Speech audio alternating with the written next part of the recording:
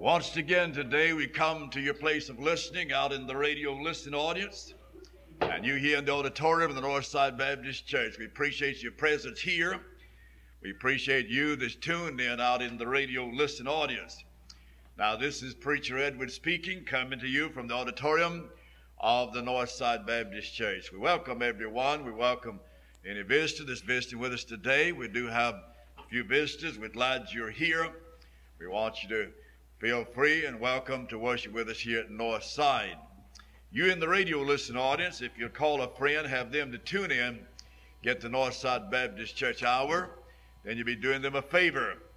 You'll enjoy the choir, the special singing, the music, and I believe the preaching of God's Word. So we welcome you to do so. Now, the tape today is tape number 297. I'm speaking on the subject Joy Lost and Found. Joy lost and found. Turn in your Bibles to Luke chapter 15 for the reading of God's Word today. You in the radio listening audience, if you'd like to have the tape today with music, singing, and message, then write in. We'll send them out to you for a gift of $3 each, and the gift is used to help take care of our radio expense. While you're writing in, write in get a brochure on our proposed Holy Land tour and look it over. You might want to go. We're planning a great tour for March of next year.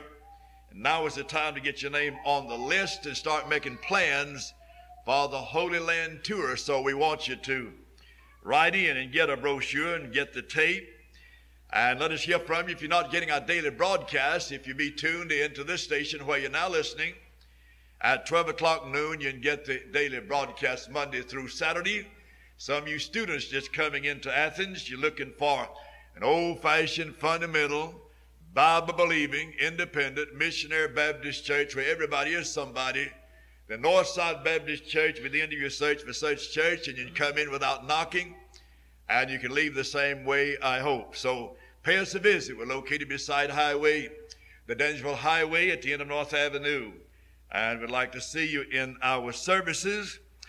I want you to find the place, Luke chapter 15. And in the Scofield Reference Bible, you will find it on page 1096. Page 1096. A reading in the Reader's Digest, I believe, this week, where this young bride, she was ironing her husband's trousers and not being uh, accustomed to too much of that type duty, she burned a big hole in the trousers. And when her husband came in and she t- told him, I just burned a hole in your trousers, I was ironing them for you, pressed them out for you. And, and he said, Well, don't, don't mind that, honey. Said, I have a, another pair. Said, When I bought that suit, I got two pair of pants. She said, That I know because I went and got the other pair and cut a piece out of them to patch this one I just burned. and so there's always a way, you know, to solve a problem. I don't want to read too fleety, but I want to read several verses to base my message on today as I speak on joy lost and found. Luke chapter 15, verse 1. Then drew near unto him all the publicans and sinners for to hear him. And the Pharisees and scribes murmured, saying, This man receiveth sinners and eateth with them. And he spake this parable unto them, saying, What man of you having a hundred sheep, if he lose one of them, does not leave the ninety and nine in the wilderness, and go after that which is lost until he find it. And when he hath found it, he layeth on his shoulders, rejoicing. And when he cometh home, he calleth together his friends and neighbors, saying unto them, Rejoice with me, for I have found my sheep which was lost. I say unto you that likewise joy shall be in heaven over one sinner that repenteth, more than over ninety and nine just persons which need no repentance. Either what woman having ten pieces of silver, if she lose one piece, does not light a candle, and sweep the house, and seek diligently till she find it. And when she hath found it, she calleth her friends or neighbors together, saying, Rejoice with me, for I have found the piece which I had lost. Likewise, I say unto you, there's joy in the presence of the angel of God over one sinner that repenteth. And he said, A certain man had two sons. And the young of them said to his father, Father, give me the portion of goods that falleth to me. And he divided unto them his living. And not many days after, the younger son gathered all together and took his journey into a far country, and there wasted his substance with riotous living. And when he had spent all, there arose a mighty famine in that land, and he began to be in want. And he went and joined himself to a citizen of that country, and he sent him into his fields to feed swine. And he would fain have filled his belly with the husk that the swine did eat, and no man gave. And when he came to himself, he said, How many hired servants of my father have bread enough to spare, and I perish with hunger? I will arise and go to my father, and will say unto him, Father, I've sinned against heaven and before thee, and am no more worthy to be called thy son. Make me as one of thy hired servants. And he arose and came to his father. And when he was yet a great way off, his father saw him and had compassion, and ran and fell on his neck and kissed him. And the son said unto him, him, him, Father, I have sinned against heaven and in thy sight, and am no more worthy to be called thy son. But the father said to his servants, Bring forth the best robe and put it on him, and put a ring on his hand and shoes on his feet, and bring hither the fatted calf and kill it, and let us eat and be merry. For this my son was dead and is alive again. He was lost and is found, and they began to be merry. If you notice here in these parables, you find joy, lost and found. I want you to keep that in mind as I move through these parables and mainly on the third one I read. Now, joy is the issue, of of course, included in these three parables. The lost sheep is carried back into the fold. The lost silver is put into the purse. The lost son is pardoned. The first one, the shepherd is suffering. The second one, the woman is seeking. The third one, the father is singing. In the first one, we have God the Son. In the second one, we have God the Spirit. And the third one, we have God the Father. The Savior is winning, the Spirit is wooing, and the Father is welcoming his Son back. You keep that in mind. The lost sheep is out of the flock. The lost silver is out of the funds. The lost son is out of the family. The lost sheep is in a place of danger. The lost silver is in a place of darkness. And the lost son is in a place of distance. Now, the devil is a travel agent of this world. And of course, he always paints a beautiful picture for those that want to go out in the world those that want to leave mother and dad and go in, uh, into town and get them a job and get them a place to live, to get away from mother and dad so they can live like they want to live. You have some like that. Some may be justified in doing that when they reach a certain age, but you have too many young people today in their teens that say, I want to get away from all restriction. I don't want mother and daddy telling me what to do. I want to get me an apartment, get me a job, get me an automobile, and get out on my own. One of the most dangerous steps any young girl could ever make.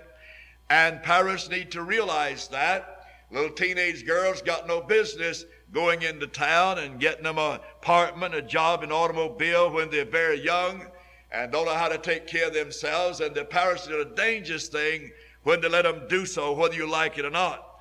Now, notice something else. He said there's fun out there. The devil told this young man there's fun out there. He's a travel agency of the world. He said, Young boy, if you'll leave your daddy and leave home, there's fun out there for you. You can have a good time. You can go when you get ready. You can keep late hours if you desire. You can come in when you get ready. And mother and daddy won't be telling you what you can do and when you can come in, when you can leave. He said, There's freedom out there. He said, Young man, if you go out there, you have all the freedom you want. You won't have to worry about any restrictions whatsoever. You're all on your own. You're young men of your own. You do what you please and live it up. Just go ahead, help yourself, have a good time. And he said, You know, young man, there's a lot of friendship out there. You know, your daddy's old fogey and he lives for God and and he's kind of strict, and you might not have too many friends here, son, but I guarantee you, if you'll get out there in the world, there's a multitude of them out there, and you'll have friends galore. You'll have friends coming from east, west, north, and south, and you'll just have a good time. And what you need to do, son, is leave your old dad and mama and get out there on your own and really live it up. And if you ever decide you want to get right with God and and get ready to go to heaven, you got plenty of time. Wait until you grow old, and then you can do that. See, the devil sings that song and tells young people those things.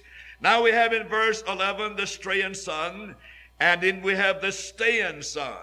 The straying son and the staying son, and they're both lost according to the scriptures.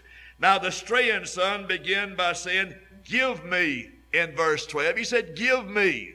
You have people today with their hands out saying, Give me, give me. I want, I want uh, what's becoming to me. Give me. And he said, Give me. He did not want the Father's presence. He wanted the Father to give him something. And he did not want his, the presence of the old man around.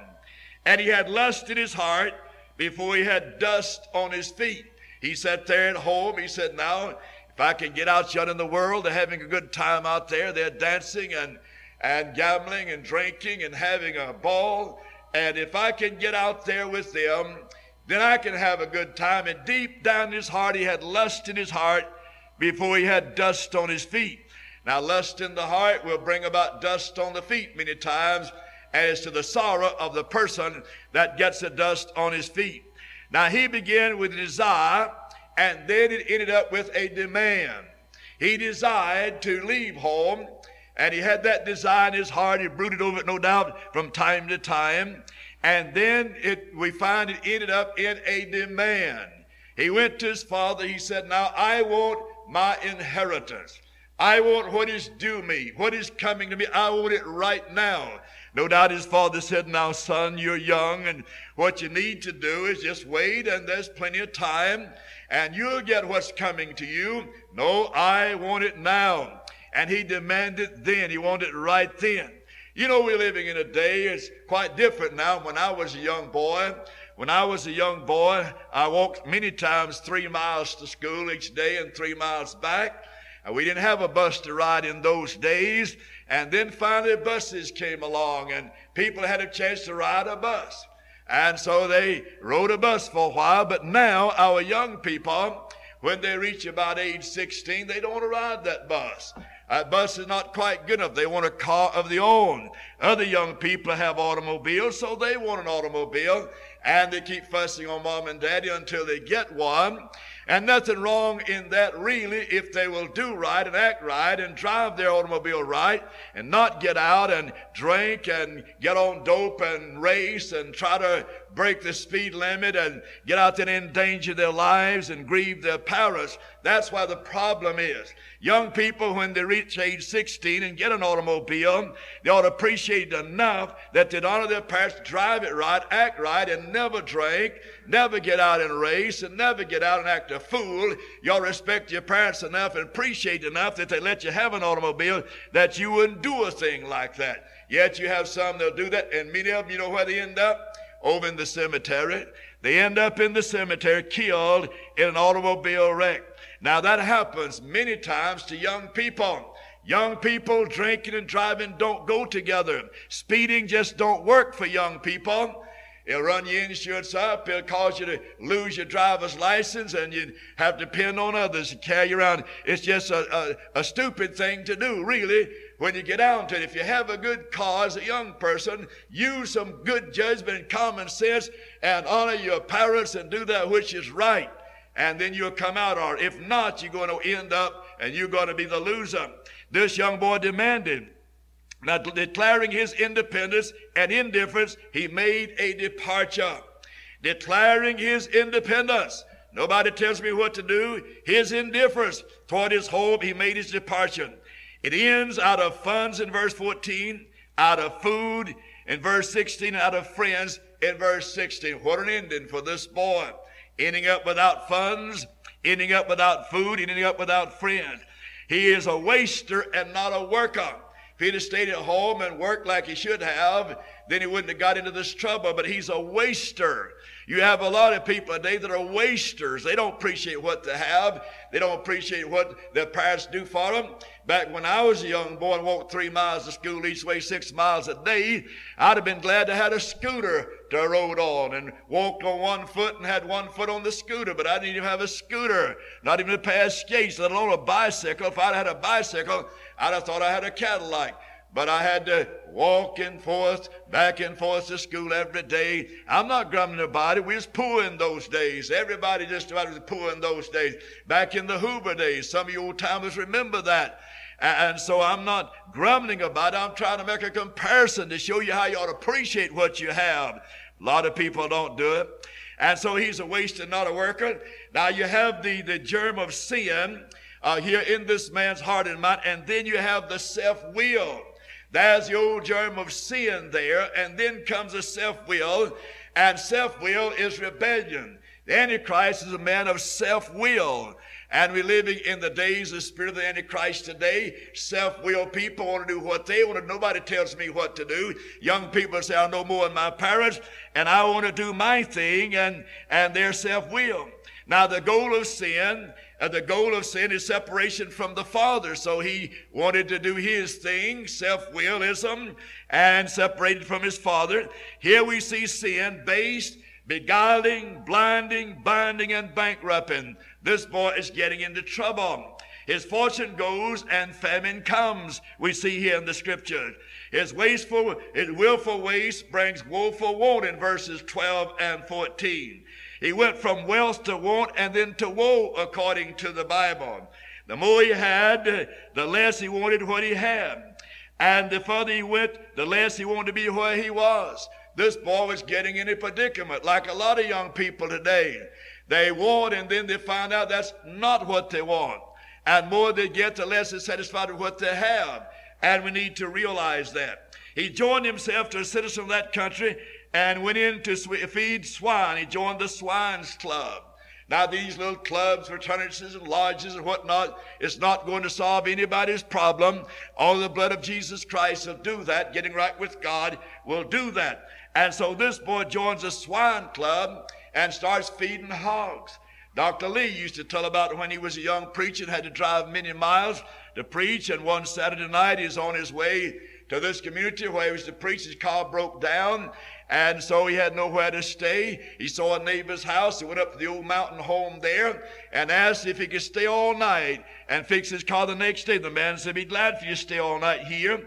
And so they went in. The man said, We'll just have to feed you such to have. Dr. Lee said, That's all right. And they sat down at the table and started eating milk and bread out of the bowl there. And they talked at the table, and something kept rooting his leg. He looked down, and it was a pig just kept rooting the old man's leg and the preacher's leg. And he complained to the owner of the house and the pig. He said, This, um, this pig here must not like me. He said, no, doctor. He said, it's not that he don't like you. He says that that pig knows you're eating out of his bowl and he doesn't like that. Now this man, he goes down and he eats out of the hog trough down there uh, and eats what the swine eats. Now he's in a bad predicament.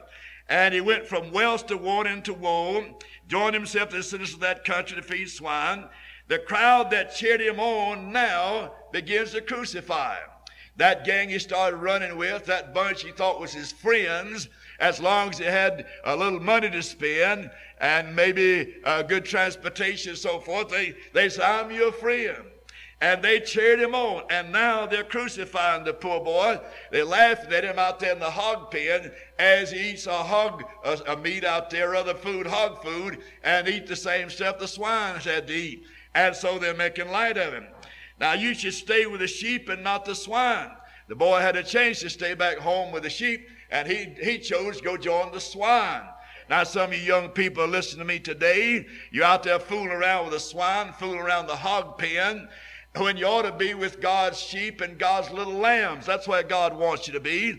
That's where mother and dad wants you to be. Stay away from the swine. They're not going to help you. They'll turn and rend you. They have no respect for God and no respect for you or your family, and you need to realize that.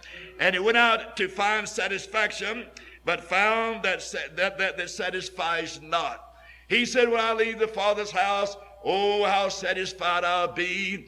And then he found out what he found satisfied not. Now you see my topic here, my subject. You see here where the joy is lost and then joy is found. I want you to notice that in the scriptures here. And sin begins with self-determination, but in but it ends up with degradation and degradation. Uh, so we see here that this man here went away and he had uh, determination, but it ended up with degradation. This man left home. He was determined to go out, have a good time, make it good, strike it rich, and then really eat, eat of the great things the world has to offer. But it didn't, didn't turn out that way. And then he's now having a conversation and a sober realization. Notice that in verse 17. He's talking to himself. There may be a time when you're going to talk to yourself when you find out that you're fouled up. You're going to say, Why did I do this? I've acted a fool. I've, I've played the fool. I should have known better. And you find yourself talking to yourself if you don't stay on the right track. You go around and fool around with the swine of this world, and as they grunt, you'll find yourself talking to yourself. That you shouldn't do. You ought to be able to talk to your family and talk to your good friends and talk to the sheep and, and not to the goats and the swine. Now he comes to himself and remembering and misery brought him to himself. Now he comes to himself, he remembers something, and then he's miserable in verse 17. And of course, remembering these things brought him to himself. He got to thinking, now what a fool I am. I had a good home. I had a good mother and daddy. I had good friends. I, I was uh, well fed, well clothed, and I had it made. And now he remembers all of this, and the more he thought about it, the more miserable he became.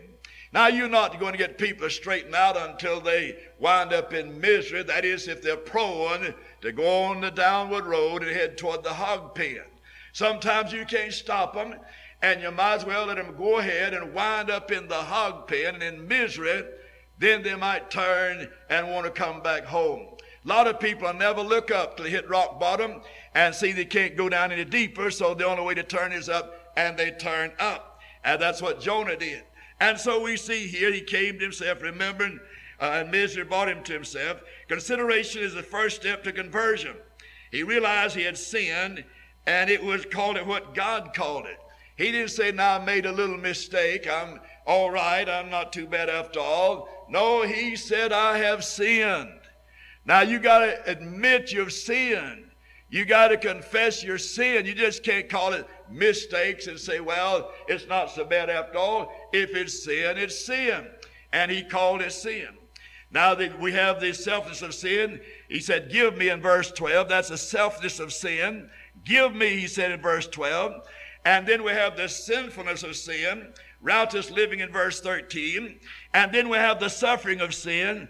He's in want, verse 14. And then we have the shame of sin. He's down there feeding swine in verse 15. And then we have the sentence of sin. He said, I perish, I perish in verse 17. He does not deny his relationship to the Father in verse 17 and 19, 19. He does deny that, but look at the predicament he's in. He's troubled. He's in trouble down at the hog pen. And he realizes that, and he, he begins to do something about it.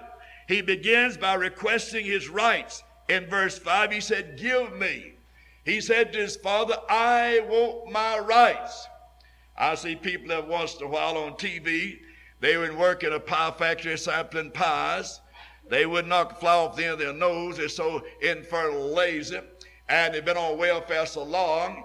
And then if you do a little something they think that the government shouldn't do to help them, I want my rights. Give me my rights. And don't know what their rights is. Beloved, we need to realize that our rights is to look to God and, and serve God and then work for a living and not depend on welfare to keep us up when we're able to work and squawk around about our rights. God help us realize this boy said, I want my rights. Give my rights, he said in verse 5. He ends by resigning his rights in verse 19. When he comes back home, he resigns his rights here in verse 19. You know what he did? He said, Make me one of the old hide servants. Now, before he left, he wanted his rights. I get so sick and tired of lazy people that always want their rights and not willing to work. Now, he resigns his. He said, uh, just make me one of the old hide servants around the house. And by the way, this is not in my message, but it disturbed me. You know what happened? You say, preacher, what? This fellow Potts down here in Forsyth County ought to have been burned years ago in the electric chair committed one of the most terrible crimes that's been committed in the state of Georgia, killed a poor man trying to help him. When he's begging to let him live and raise his young'uns, he cussed and said, somebody else will raise your young'uns, blow his brains out. He sentenced to death, and these, these are sin-loving, crime-loving judges overturned that conviction. Yesterday, he, somebody got a pistol to him. He got out, and uh, then he took uh, one of the, the, the, the guards hostage, and then got then left the prison. And the, the, host, the guard ought to feel good to be alive today because he's a cold-blooded murderer. They shot him a time or two and kind of skinned him a little bit. And uh, then uh, finally caught him and put him back in prison. Now, when you play with a rattlesnake, sooner or later that rattlesnake's going to bite you. And they've been playing with that man for too many years. And he's going to fool around and kill some of them guards and kill somebody else. And those judges, those crime-loving judges, and our judicial system is going to be responsible and going to have the blood on their hands of every evil that man does. It's have been electrocuted years ago, should have been burned years ago, along with that crowd that killed the Alday family. And they're playing with them like a bunch of rattlesnakes, and they're going to get bit one of these days. And those three stooges that overturned that conviction, call themselves judges, going to have the blood on their hands. You tell them I said so to get a chance to do so. God help us. That's not my message. I won't charge you anything for that. Yeah, I'll just let you have that on the credit. Now, we need to realize that this man here, uh, he, he, became um, in trouble and he, he resigned his rights in verse 5. He ended up resigning his rights, verse 19. He is lost by running from the Father. He is found by returning to the Father. He, had he not come to himself, he would not have come to the Father. He had to come to himself first, and he came to the Father. He had to come to pigs and poverty, or he would not have come to peace and plenty. He received no rebuke from the Father, uh, you know, like Jesus uh, saw the woman taking adultery when that uh, crowd of fellows guilty of the same thing tried to condemn her. And Jesus said, They without sin, let them cast the first stone. And that, that gang of men that is guilty of committing the same kind of sin walked off like a bunch of dogs that broke up a hen's nest. And Jesus said, Now where's thine accusers? Uh, he said, No man, Lord. He said, I don't accuse ye. That uh, Jesus received of the tender heart, forgave her of her sins, said, Go sin no more. Now the Father here receives the Son back in that manner. He receives him back. He receives no rebuke from the Father. And the Father shows expression with eyes of mercy. The Father showed feet of mercy, bowels of mercy, and lips of mercy. He left the Father's house, but he never left the Father's heart. Now you may go out here and sin. If you're a child of God, God still loves you and God forgive you. You may go out here and dishonor your parents and break their hearts, but you'll never leave their heart. They may let you know they disapprove of what you do, but you don't leave their heart. You steal on their heart and trampling on their heart when you do wrong. Now this boy left his father's house, but he didn't leave his father's heart. Now the father expresses forgiveness even before he confesses. Boy didn't have a chance to confess his sins. His father already forgave him before he had a chance to confess. He said, I'll go to my father. And, but the father ran to meet him. He is coming up the dusty road and ragged and, and long beard, no doubt, matty hair, uh, barefooted and uh, filthy and hungry. And he was walking back home, a roaring young man in many respects. But his father saw him and ran to him and fell his neck and kissed him. He came slowly with the burden of sin. The Father came swiftly with blessings. And there the Father began to bless him. That's the way God does business. That poor sinner comes shamefully, slowly toward God with a bowed head. And then God comes swiftly and quickly with blessings that he might save him and help him. He is recognized by the Father, first of all. Secondly, he's received by the Father. Thirdly, he is ringed by the Father. The Father put a ring on his finger. And then he is robed by the Father. And he's, then he's restored by the Father. And now he rejoices with the Father. And so he comes back home. Man, he'd gotten into trouble. He knew it all. He had all the answers. His parents couldn't tell him anything. He learned so much at school until uh, he knew more than they did. Like the man one time called his 12 year old son aside and said, Son, uh, you getting up to age now. I want you to sit down. I want to talk with you about the real facts of life. Young man said, Dad, what do you want to know? Well, many of them take that attitude now. We need to realize that when people get to the place where they know more than their parents, they know too much. They've gone too far. they deceive themselves and they don't realize that. They realize someday when it's too late, but they make a lot of trouble and bring a lot of heartaches before that time comes. And so he's recognized by the Father. He's received by the Father. He's ringed by the Father. He's robed by the Father. He's restored by the Father. He's rejoiced with the Father. Here we have rags exchanged for a robe. And the Father put it on him. The Father said, Get those rags off. Let me put a robe on this boy. And he put the best robe he had there in the wardrobe. Here we have shoes put on him. Servants in those days went barefooted. Sons wore shoes. And he had shoes put on his boy. This is my son. He lost his joy, and now he's finding it again. He's returned to full sonship. So you lose joy and you find joy. The lost sheep was lost, and there was joy when it was found. The corn was lost, there was joy when it was found. The son was lost, there was joy when he came back home to the Father. And so we see here that the, he feasted by the Father. He's now returned from misery to merriment. God is more than a lawgiver. We see here his light, love, life, grace, and peace. God received this boy back. The Father did. He's a type of God. And if you're listening to me today in the radio listening audience, you've gone out into sin, you have left the Father's house, you've disobeyed your parents, you've been mean. Why don't you get on your knees? Get right with God. Come back into fellowship with God. Get back into fellowship with your family. You're headed out of this world and maybe quicker than you think. You know how soon God's going to call you away. And you need to be in good standing with God, good standing with your family, and your fellow man as far as possible. Yes, we see here lost joy and then joy restored. If I'm speaking to someone in this building in the radio listening audience, you one time had real joy, real peace in your heart. You enjoyed going to church. You loved it. But now you grumble and murmur and complain when you have to go to church. You've lost that joy. You need to get it back. It's not God's fault, it's your own fault. You need to get that joy back. It'll come back. David said, God, restore unto me the joy of thy salvation. If you lost the joy, it can be restored. You haven't gone too far, but what God can't restore that joy back, make you happy again. Put that desire in your heart to go to the house of God. Put desire in your heart to want to do the things of God and put desire in your heart to serve Him. God can do that. He worketh in us to will and to do of His good pleasure. And just get before God like this boy did. He said, I've sinned against heaven in thy sight.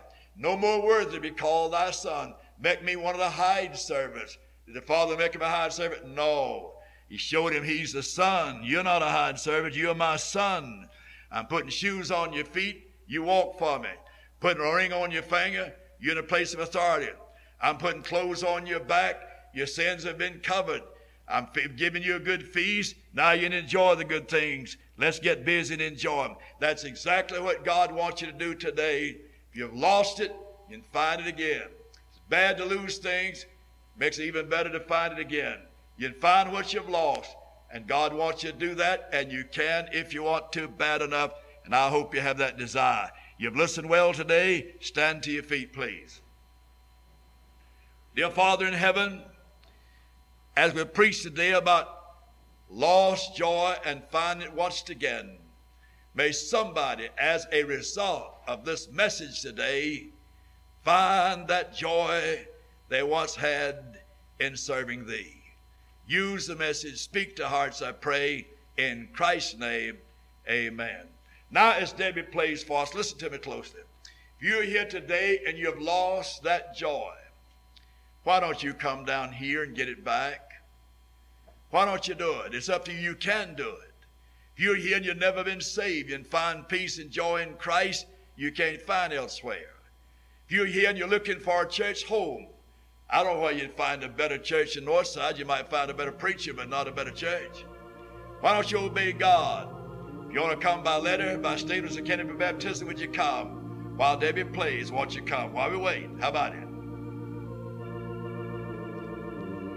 Come on now, if God is speaking to your heart.